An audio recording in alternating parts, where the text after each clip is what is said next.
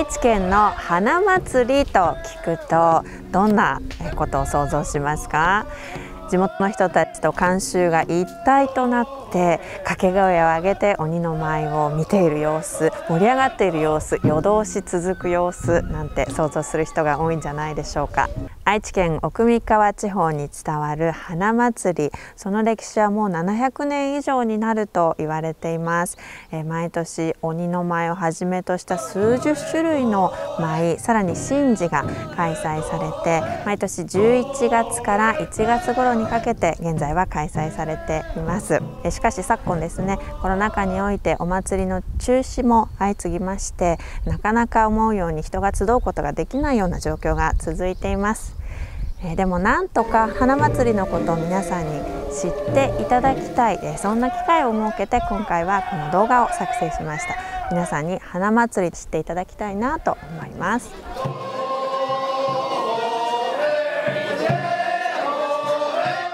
こちら、えー、私東栄町の花祭り会館にやってきました。イレーネがやってきたのは愛知県東栄町にある花祭り会館。ここでは重要無形民族文化財の花祭りのことを分かりやすく紹介しています。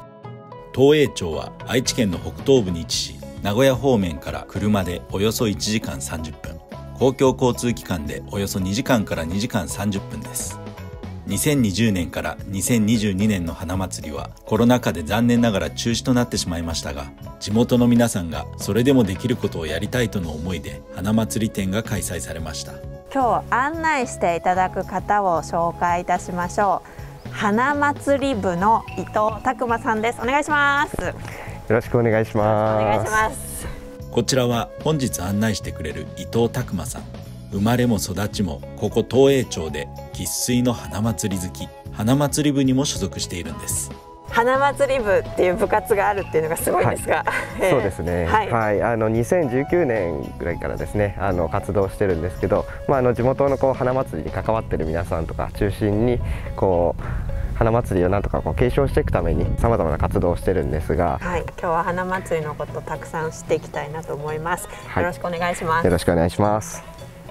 ということで伊藤さんとイレーネは会館の中へ視聴者の皆さんもこの動画で花祭りについて少しでも興味を持ってもらえたら嬉しいです。最初は、はい、まあ、こちらで今回のその企画の展示のですねあのコンセプトを紹介している場所になります。花祭り展は訪れたお客様が情報や物を提供してくれておりどんどん展示物が増えていきました次は、えっと、この花祭りとはっていう、まあ、やっぱり花祭りってそもそもどういうものなのかみたいな話を、まあ、ここの展示で紹介はしています。という掛け声で夜を徹して繰り広げられる花祭りは鎌倉時代末期から室町時代にかけてこの地に伝えられたと言われています。神様が呼んできた会場の中でこう舞ですとか鬼が登場したりですとかそういうことを実は毎年行っているっていうのが花祭りなんですね。ね。はい、変わりながら続いここはあの展示のテーマとしてこう変わりながら続いていくっていうのをテーマにしていて、はい、まあ、花祭りこう700年こう歴史があるっていうふうに言われてますけどきっとこうこの700年の間に全く今と同じことをやってきたっていうことはなくて、いろんなことが多分こう変化しながらこう続いてきてると思うんですけど、まあ、そういう変化がありながらこう変わらない部分だったりとかここは変えちゃいけないよねっていう部分ってたくさんあるのかなと思ってここのパネルはあの祭りを行う会場のことを花宿って言いますよね、はい、その花宿についてのこう変化っていうのを少し見てる展示になるんですけど。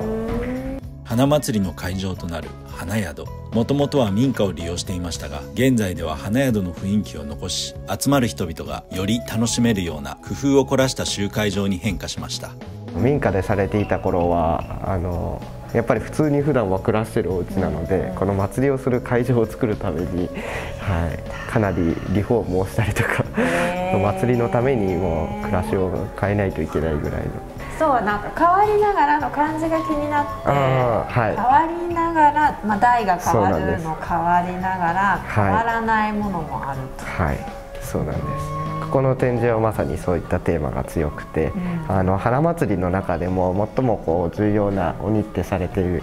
あの榊鬼っていう鬼がいるんですけれども榊鬼は大地に新しい生命力や活力を吹き込む花祭りで最も重要視されている鬼です。地域によっては世襲されることもありここでは中沢家という地区で親子代々にわたり榊鬼を任されている原田さんのストーリーを紹介しています。自分が子供の頃にこう父親の方があの榊鬼を実際待っていてそこにこう自分が高2として一緒に会場で舞をするっていうでこう小さいながらにこう視界の狭い面を通してこうお父さんの舞う榊鬼の姿を真似しながらこうやったっていう今となっては小さかった原田さんって方があのもう榊鬼は今任せられるようになって、はい、みんなでつないでいくことなんですね。そうですね。大体こう変わった次の年はその榊鬼を待っているすぐ横に、ま、前回やってた方が こうやって見てたりするんですね。グッとくる、はい、晴れと毛ここからは、えっと、晴れと毛っていうテーマ、はい、はい、晴れの日と日常の毛の日っていうのをこうなんか人に注目して見て紹介してみようっていうコーナーになってます。晴れは儀礼や祭りなどの非日常。毛は普段の生活である日常を表します。ここでは花祭りに関わる人々の毛つまり日常を紹介しています。上のパネルの岡田さんは、えっと、今東映の中学校の校長先生を、やってる方なんです、はいなんですけど実はあの花祭りではあの中下良という地区の,、あの花太夫って呼ばれるこう神事たりとかっていうのをこう全て取り仕切る、まあ、一番こう重要なこう役割というかを役職をされてるという。はい。岩戸開きとかってあの鶴平とか言われるこう演目があるんですけど、はい岩戸開きおつるひゃらという演目ではおかめやひょっとこのお面をかぶって夜明けに登場する舞手が味噌のついたすりこぎや米のついたしゃもじを手に現れます。ぱりみんな味噌をつけられるとこういいことがあるよっていうふうには言われるんですけどやっぱり普通にこう見に来てる人たちとしては味噌を代わりにつけられるのは嫌なのでみんな一生懸命は逃げる。すっごい逃げてるそうなんです。この面をかぶると本当に人が変わるという人も中にはいて命が灯るみたいなそういうのがあるんですねそうなんですよ、はい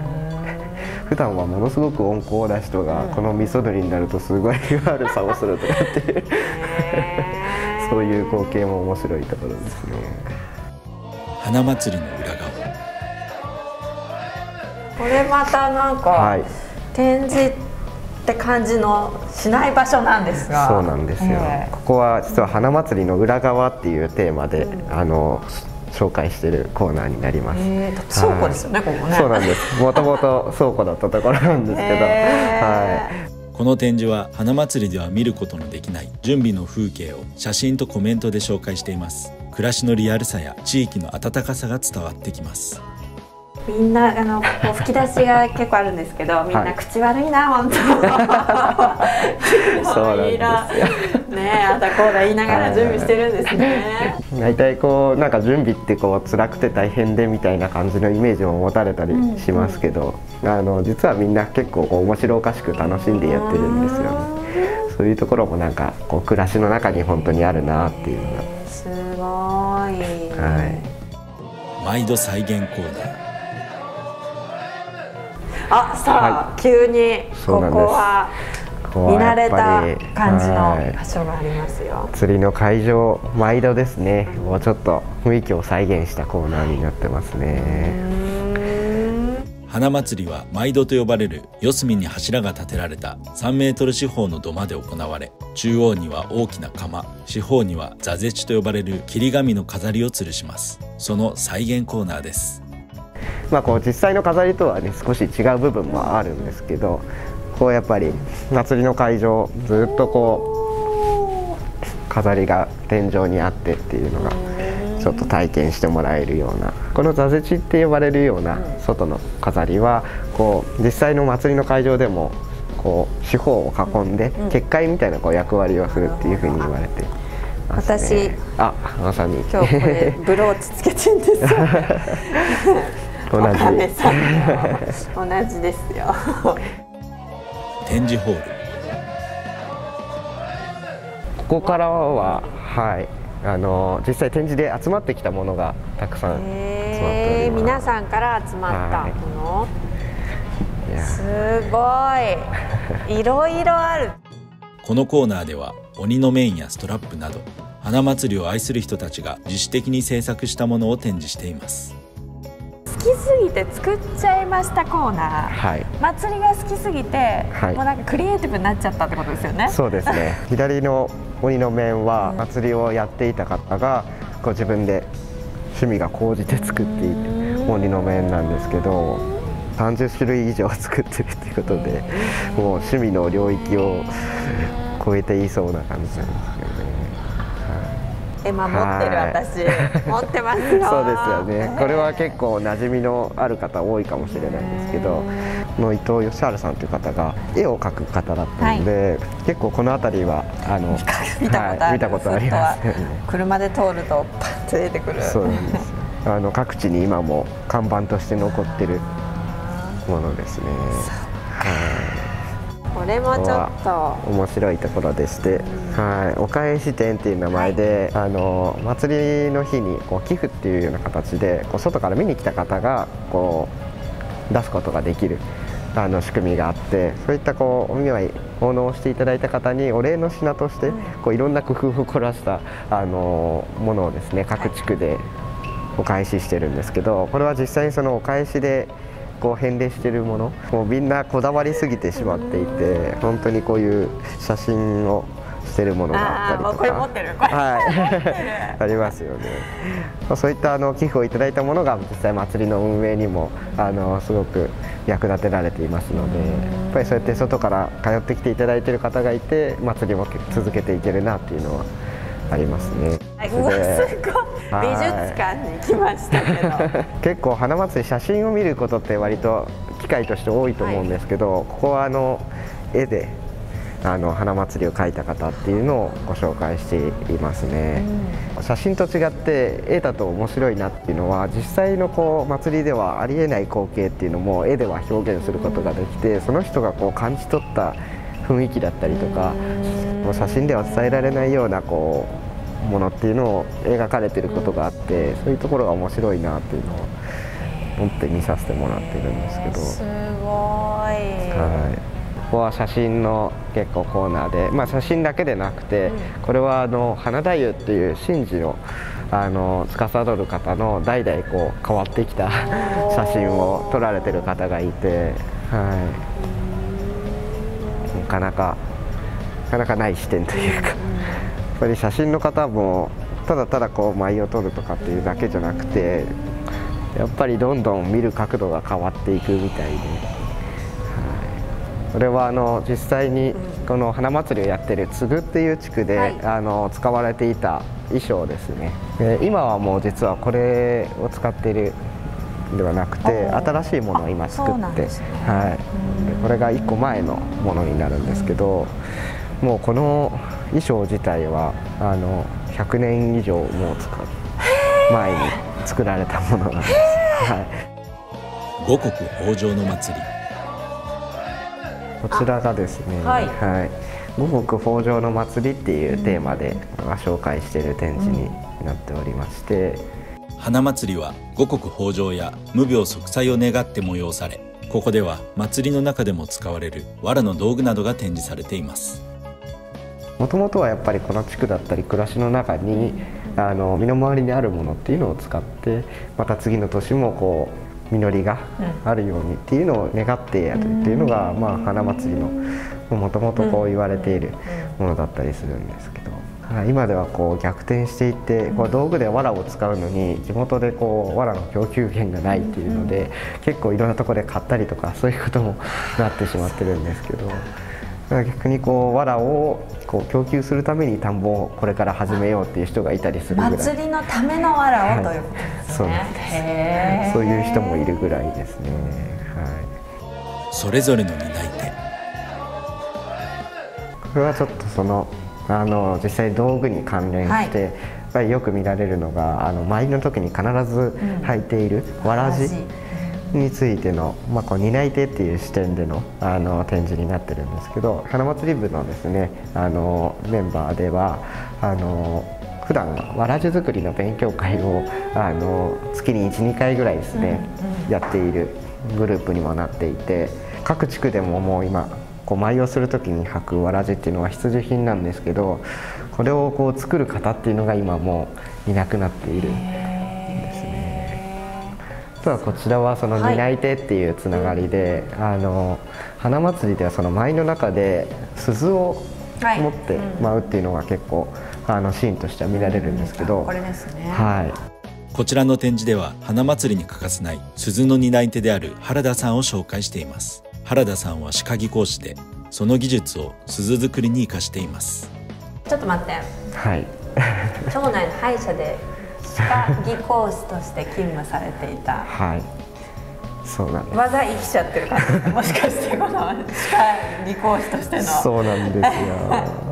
舞の中でもものすごい回数振り鳴らすのでどうしてもこう割れていったりとかするんですけどもう作る人がいないっていう話になった時にあできるかもなって思っちゃったみたいです。花祭りのない暮らし。そしてここはちょっとまあこう最後になってくるんですけど、まあ、今回この花祭りがやれないっていう中で、うん、花祭りのない暮らしっていうのをテーマにちょっとこうグッと くるような内容もたくさんあるんですけど実際花祭りがないことでどんなことがあったかなっていうフレーズをたくさん集めた展示と実際にインタビューをしたパネルの紹介になってますね。はい、と最初こう戸惑いだった部分が今はじゃあまた再開した時にもっと大切にしようっていう思いもそうですね。たりするんですかね。はい、やっぱり認識も変わってくる部分がありますし、一個一個の舞をするにもやっぱりそれが当たり前のことじゃないんだなっていうのは感じてるんじゃないかなと思いますね花祭りの思いとこれから花祭りの未来今後の展望を聞かせてください。はい。ですね。あの、まあ、これからもやっぱり花祭りこう続けて各地区が行けるようにするためにやっぱり今回の展示のこうメインでもあるようにやっぱりこう花祭りのある暮らしまあ、暮らしの部分からこう花祭りをどうやって続けていこうかとかこうどうやってこう暮らしを続けていくのかっていうことをやっぱりいろんな人がいろんな形で考えていくっていうのがすごくこれからも必要になるのかなと思っているので例えばこういった花祭り会館という場所があるのでもっとこう日常的に花祭りの話をみんなしたりとかあの花祭りと関わるいろんなことがここでできたりとかことがこれからも進んでいくと、まあ、こう花祭りのある日はもちろんですけどあの祭りのない日も東栄町にこういろんな人が関わって足をこう運んでくれるっていうようなそういうことが今後もやっていけたらいいのかなっていうのは思ってますね。はい、ありがとうございます。はい、今日は充実の時間をありがとうございました。はい、ありがとうございました。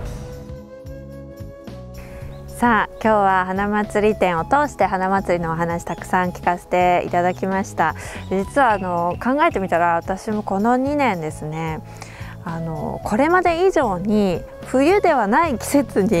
えー、このエリアに遊びに来ることが多くてで逆にこう花祭りの会場では見られなかったような普段ここに暮らす人たちのことであるとかどんなことを考えているのかどういうふうに遊んでいるのかとかいろんなことを知ることができてよりこのエリアを好きになるというそういう2年でもあったなと今になってすごく思います。